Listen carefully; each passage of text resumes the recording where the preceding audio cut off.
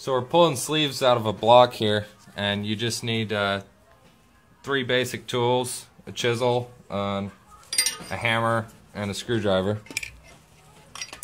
First you want to get a little lip started, so you can get your screwdriver behind it, use the chisel.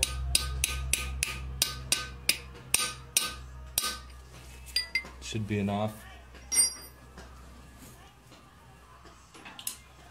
You take your screwdriver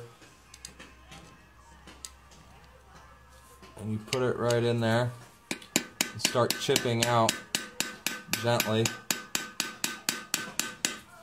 And you go more vertical. And then you can just peel it off down throughout the cylinder.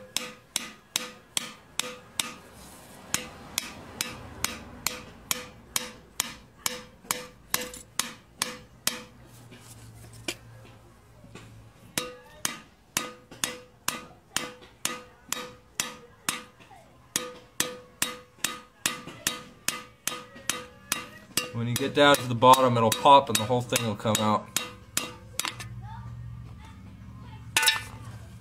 No, not quite.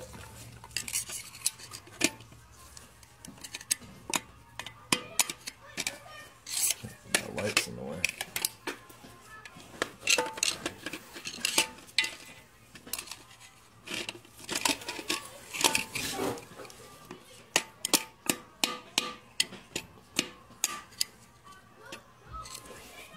Hold that.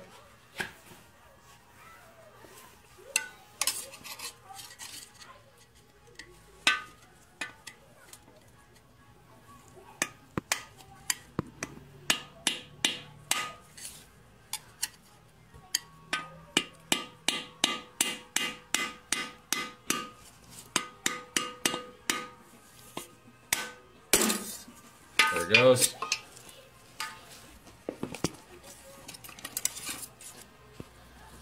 And you've got the pieces you chiseled out.